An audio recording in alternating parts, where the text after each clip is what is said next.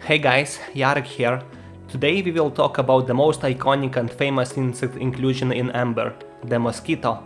That annoying, blood-sucking, flying insect which buzzing drives us insane. It's the most misidentified inclusion in amber, and I will tell you why the 99.99% .99 of mosquitoes that are found in amber in reality are not mosquitoes. But before that, first let's see how did it became so iconic, which could be part of the reason why it's so often misidentified. Do you remember the movie from the 1993 called The Jurassic Park? That single movie was the first spark for me and many other kids to get interested in prehistoric life, fossils and obviously amber. And because of that movie, many people know about amber in the first place. And the piece of amber which was featured there contained inside what? Yep, the now iconic mosquito, which led to the rebirth of the dinosaurs after some movie science thingies. Funniest part that insect used in the doctor's amber cane is a real mosquito called Toxorhynchus rutilus, or elephant mosquito. And this is the only type of mosquitoes that doesn't feed on blood, they hunt other mosquitoes. But that's not the point of the video. It's not a fact, but I believe that when people think of amber, they also think about the mosquito which was embedded inside.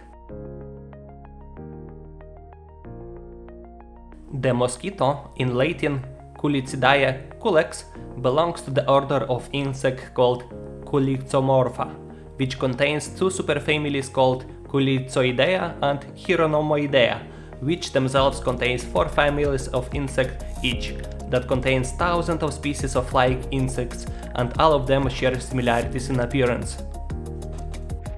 And all of these thousands of species of insects that are not mosquitoes are being called mosquitoes, if they are entombed in amber. Even I was guilty of that misidentification when I discovered first flying insect in amber and called it a mosquito. That insect kinda resembled a mosquito a bit, but it was a non-biting midge. In my opinion, there are few reasons for the misidentification. First reason we already talked about. When person that is not experienced with amber sees an flying insect in amber and if he saw the movie, his first thought will be a mosquito because that's what he remembers and that's what he saw. Second reason is that some of these other families of insects really closely resembles a mosquito in appearance, and if person doesn't know exact morphology of mosquito, it's easy to misidentify it by mistake. I will show the morphology of the most important differences later in the video. And third reason of misidentification is malicious. True mosquitoes, the Culicidae culex, is a very rare find in amber and costs up to $1000 for the piece, well, considering current prices, not in the future, as well as depending on different factors, like how complete the insect is and the quality of preservation itself. And other insects like true midges, biting midges, crane flies, fungus gnats that closely resembles a mosquito are very common and cost pennies in comparison to the true mosquito.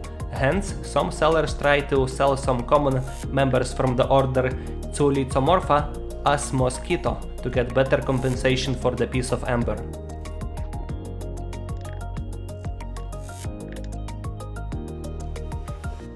Alright, now let's learn how to identify a mosquito in amber. As true flies, mosquitoes have one pair of wings with distinct scales on the surface.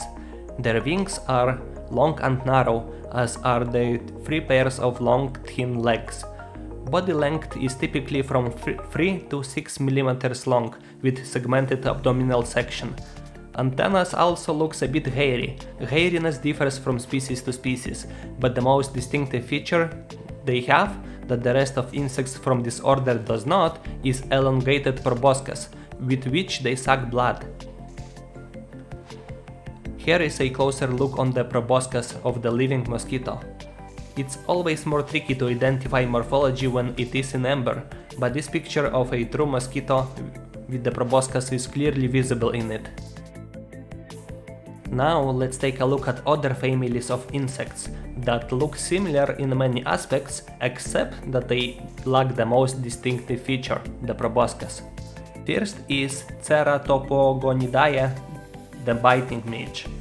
And in my eye it looks extremely similar to mosquito. Fluffy wings with antennas, same eyes, similar segmented abdomen, main difference are shorter legs and lack of long proboscis. So yep, not a mosquito. Next in line is a phantom midge, the Chaoboridae. For starters, the name is menacing, right? But once again, the main difference is lack of long proboscis. Phantom midges has very different mouth parts, but wings, eyes, legs, fluffy antennas and general body composition is very similar. Next, let's take a look at a crane fly aka the big mosquito. Nope, I'm just kidding, it's not a mosquito. Because you guessed it, they don't have long proboscis. But other than that, once again it does resemble a mosquito, just a bigger version of it. I bet you see the pattern now. If you don't know what exactly to look for, all of these insects can be mistaken as a mosquito for an untrained eye. I think I have made my point already, but I have such an amazing photos from Artur I just can't not to share them with you. But point will be the same, all, all of them are similar to mosquitoes, but main point is usually no scaled wings and lack of proboscis. And these picked members of order Culicomorpha are the most common to find in amber, hence the most common are misidentified as mosquitoes.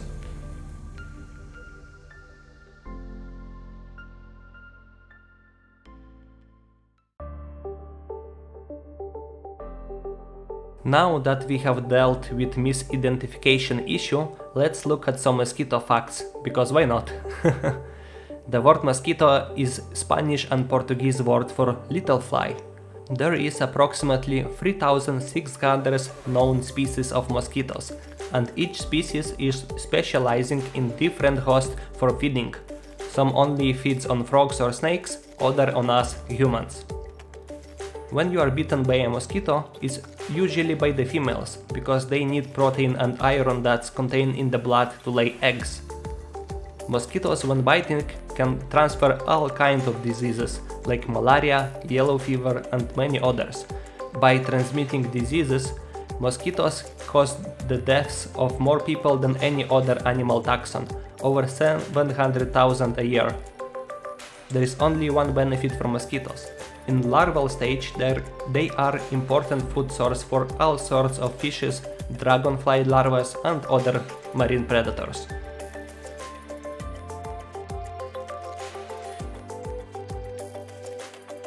The oldest known mosquitoes are known from amber, dating to the late Cretaceous.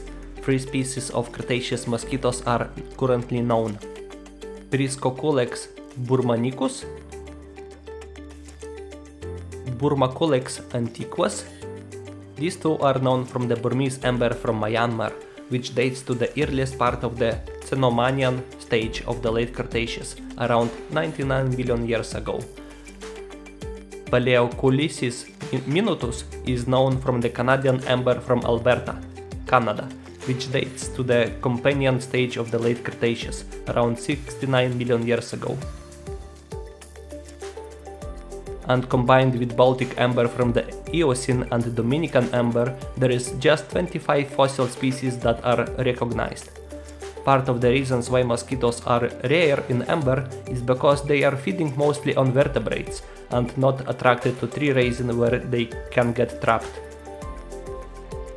Inclusion pictures which were on another level quality-wise were provided by Artur Michalski, if interested in getting genuine inclusions from a trustworthy seller, you will find Artur's link to the Etsy store in description and thank you for all the amazing pictures once again. And there you have it. I hope this video will help for identification of true mosquitoes in Amber, for personal reasons or just if someone wants to own one. Should be careful identifying himself what he is buying, as well as some history behind these flying insects and some facts. And if you did enjoy the video, consider subscribing to the channel for more Amber and Fossil related content and smash that like button. It keeps my motivation higher to produce more content. Thanks for watching and see you next time. Bye!